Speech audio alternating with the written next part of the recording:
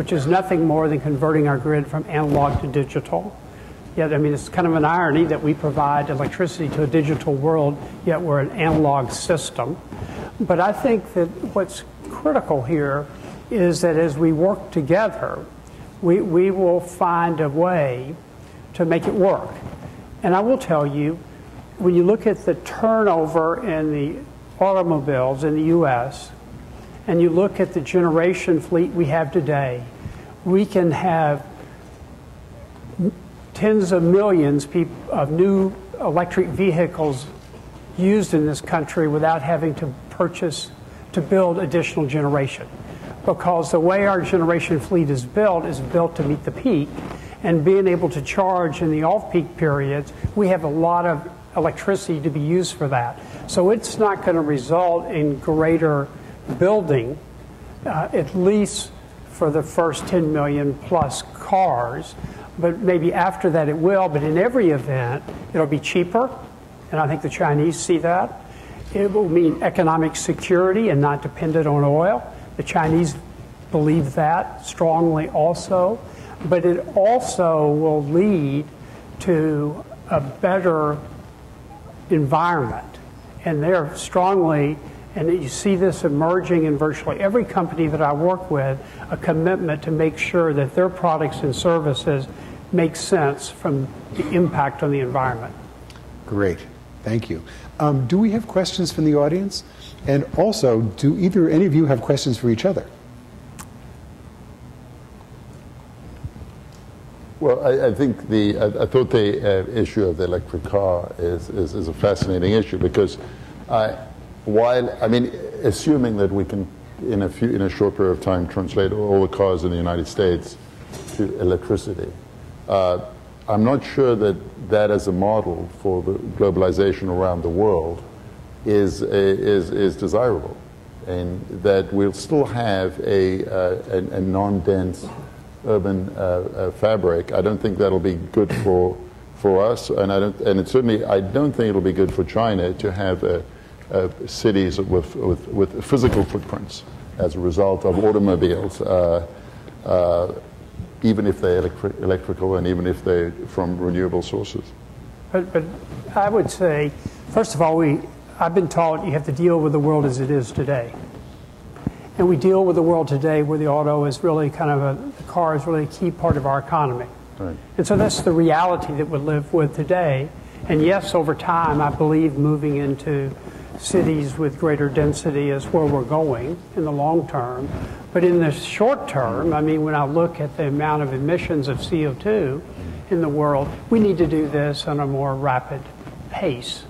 Um, and, and in China and in the US, I see a situation where you have charging stations in major cities where people have the ability to really sign up and go and use a car when they want to use it on a weekend and then put the e-car back into the charging station and take the bus home or the train home or wherever. I see that as happening within cities that give people a, even a better lifestyle in the sense of having access to cars as well as living within the city.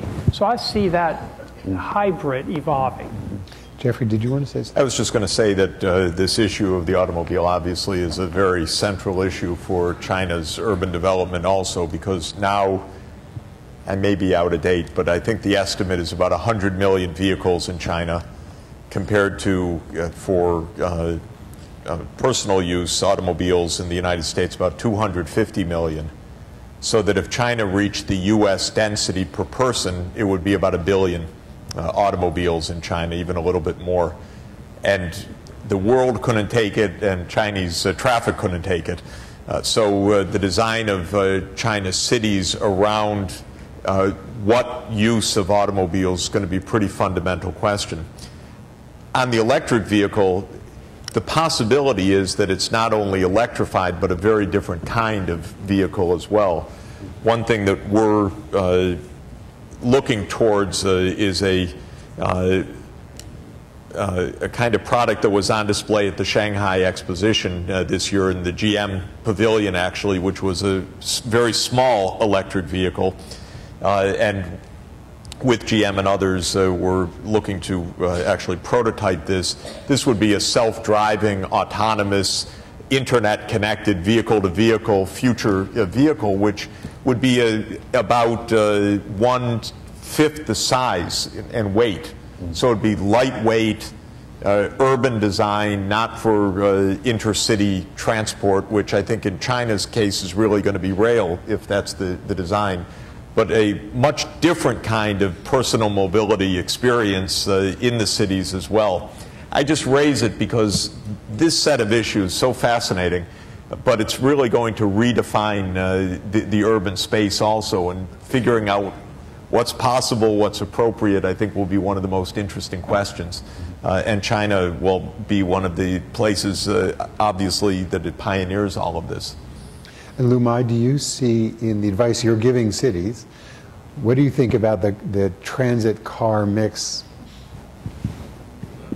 Uh, the, the city government in China really want to have a automobile industry to settle there.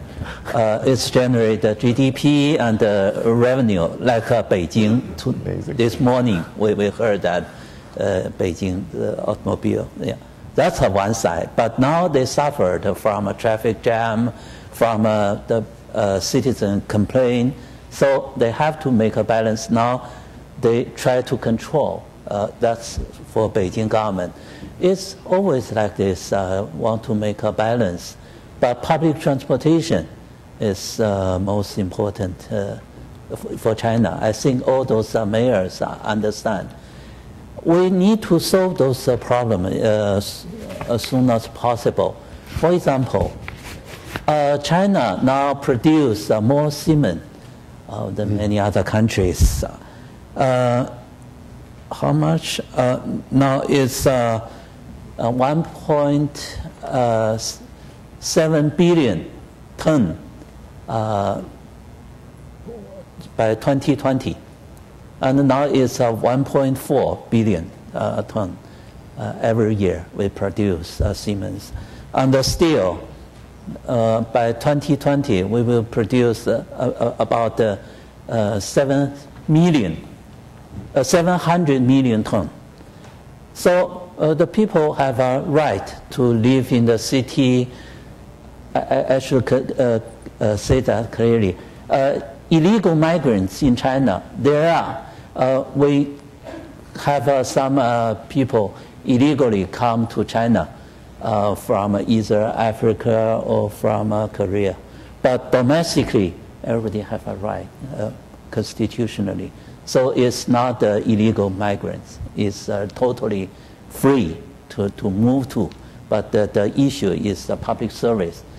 Now the people want to have a better house, larger, uh, even larger like United States. So how to solve these problems? How to, uh, how do I say? It, it's a big issue. Well, U.S. China can work together to uh, working on the core industry uh, uh, uh, as energy can solve the problem of uh, the transportation, but also uh, housing and uh, several, several. So uh, this is an urgent issue.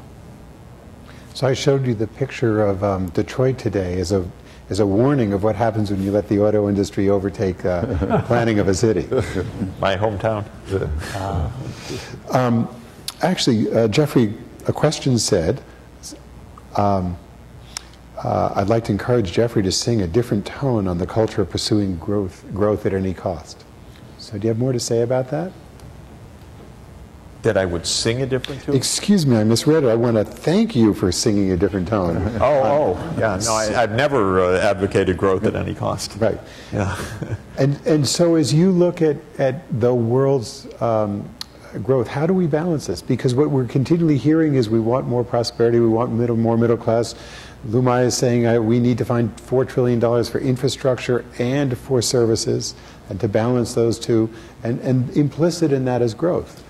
And yet, also implicit in growth is the absolute destruction of the earth that sustains us. Well, I, I think we've learned uh, one thing, which is that what we measure as uh, growth, which is typically the gross national product per person changing over time, is not necessarily correlated with what we want out of life, uh, especially after a certain level of development has been reached. And the paradox in the United States, which has a name, it's called the Easterlin paradox, after a professor at Penn uh, found it, is that during the last 50 years, while the U.S. GNP per person soared, the reported self self-reported level of happiness remained unchanged. And clearly we experienced some very serious uh, very very serious deficits from uh, this kind of change in terms of environment obesity epidemic many things that occurred uh, that uh, show that we're not necessarily measuring right what we really want. Now for very poor countries where i work growth is usually correlated with an improvement of living standards. But for rich countries, after a point, it might not be correlated with an improvement of living standards. Then things that we don't measure in GNP can be a lot more important. And uh, one of my favorite countries in the world is Bhutan, uh, Himalayan uh, paradise, by the way, uh, where uh, they have a concept called gross national happiness. Uh, which is uh, taking uh, Buddhism into modern economy uh, terms. And uh, I'm hosting a conference with the Prime Minister of Bhutan this summer on gross national happiness, where we're having representatives from China, from India, from Greece, from other places talk about the concept of happiness from many perspectives, from Confucian perspective, from Hindu perspective, from Buddhist perspective and so on. And I'm very interested to see whether there will be over time a way to measure what counts in a, in a lot more meaningful way. But this is, I like the concept of harmonious society, and I like the concept of uh, what uh, some of Confucian teaching uh, offers on this as well. We can't go on using GNP per capita as if this is really our endpoint metric we have to be a lot more subtle and self aware than that. But, Jonathan, I'd make an observation that our challenge is sustainable growth throughout the world.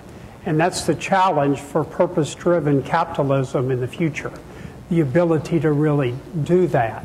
And part of that is achieving, as you heard the luncheon, um, as the CEO of Citicorp said, look at the number of new jobs that we need to create in the world. And I think part of happiness is having a job. And so I would say sustainability, sustainable growth that leads to full employment is really something that we ought to try to tack toward, not just in the U.S., but also in China.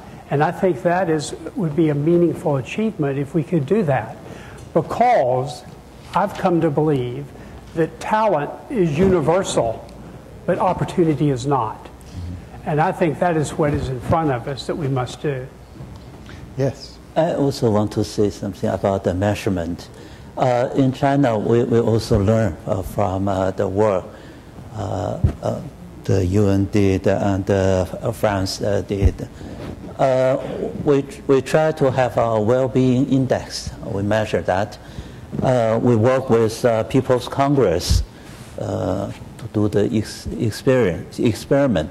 We collect 50,000 of uh, the, the, people's uh, response to do the survey among them. So the result is the people come from a poor province has a higher satisfaction the rich coastal area is uh, lower than that. Uh, the people in that, the lower education has a higher satisfaction. And uh, the, another issue is the old generation has a very high satisfaction. So it's come from it's come to this group. They're young, they want to find a better job, uh, they are educated, not the very high, high school, uh, college educated. This group is uh, not very, very happy. So this is the issue. Uh, we cannot teach them, tell them, you should be satisfied with this life. Ride bicycle, find a low payment job, and no, they don't want. They want to live in as an American. Who aren't very happy. That's the problem. Really. Welcome to New York. Yes, they want to migrate. So uh, we're going to bring this panel to a close, but we've actually come to, I think, a really important place, which is that the goal really, I love this phrase of purpose, uh, um, purpose-driven capitalism and purpose-driven society. And I think if the purpose really is about happiness, it's not about GDP, it's not about quantity, and it is only through the pursuit of happiness, of deep happiness, not, not joyful, I mean, joyful is part of deep, but of deep happiness and satisfaction that we'll, we'll, we're going to find the intersection of the solution to all these issues. So I thank you all for your wisdom, and thank you all for your attention. Thank you. I thought maybe you were getting to sustainable happiness.